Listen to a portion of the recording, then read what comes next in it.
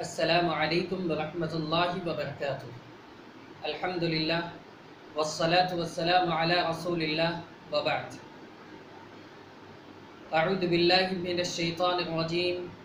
بسم اللہ الرحمن الرحیم۔ وما خلقت الجن والانس الا لیعبدون۔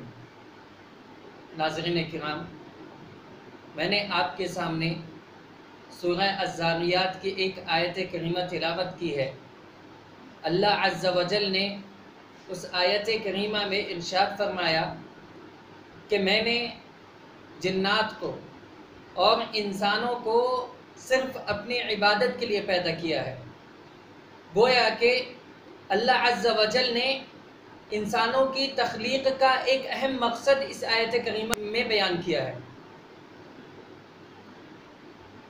اور اس بات کی خبر دی ہے کہ انسان کا اس دنیا میں آنا بلا وجہ نہیں ہے، بلا مقصد نہیں ہے، بلکہ وہ اس دنیا میں ایک خاص مقصد کے تحت وجود میں لایا گیا ہے، اور وہ ہے عبادت۔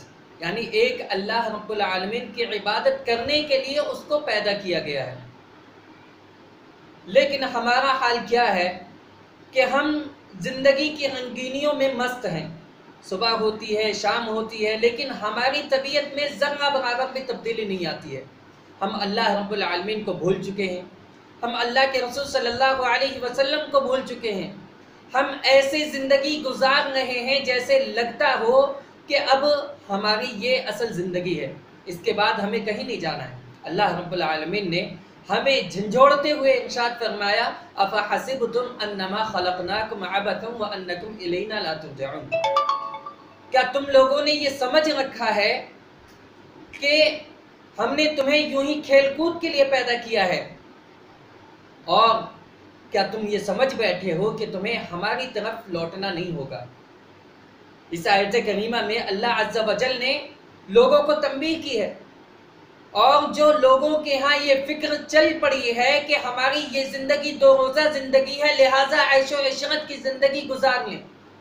یہ زندگی دوبارہ نہیں ملے گی، لہٰذا اس زندگی سے زیادہ سے زیادہ فائدہ حاصل کرنے۔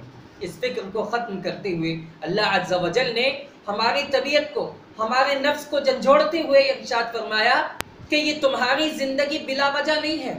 تمہیں اس دنیا میں وجود بخشا گیا ہے، تمہیں اس دنیا میں بھیجا گیا ہے، اس کا ایک خاص مقصد ہے، اور وہ ہے عبادت۔ لہٰذا ہر مسلمان کی یہ ذمہ داری ہے کہ وہ اللہ رب العالمین کے اس مقصد کو پورا کرنے کی کوشش کریں، ذرا تصور کریں کہ ایک انسان جب کسی چیز کو بناتا ہے تو اس کا ایک مقصد ہوتا ہے۔ مثال کے طور پر اگر ٹیوب لائٹ ہے، اس کو انسان بناتا ہے تاکہ وہ روشنی دے، لیکن اگر وہ روشنی نہ دے تو انسان اس کو بیکار تصور کرتا ہے، اس کو پھینک دیتا ہے۔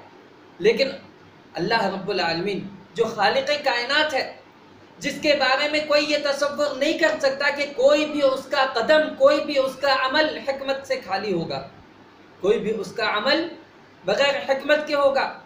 تو وہ کیسے ایک انسان کو، اتنی بڑی مخلوق کو، جس انسان کے اندر اگر خود انسان ہی غور و فکر کر لے، تو اللہ رب العالمین کی قدرت کاملہ پر عش عش کرتا رہ جائے گا۔ تو اس انسان کو اللہ رب العالمین کیسے کھیل کود کے لیے پیدا کر سکتا ہے؟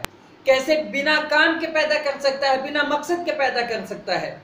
لہٰذا اللہ رب العالمین نے ہمیں جس مقصد کے لیے پیدا کیا ہے، اس کو ہم مکمل کریں۔ یعنی اللہ رب العالمین کی عبادت کریں۔ اللہ رب العالمین سے دعا ہے کہ اللہ رب العالمین ہمیں کہنے، سننے سے زیادہ نیک اعمال کی توفیق عطا فرمائیں آمین۔ السلام علیکم ورحمۃ اللہ وبرکاتہ۔ ہاں۔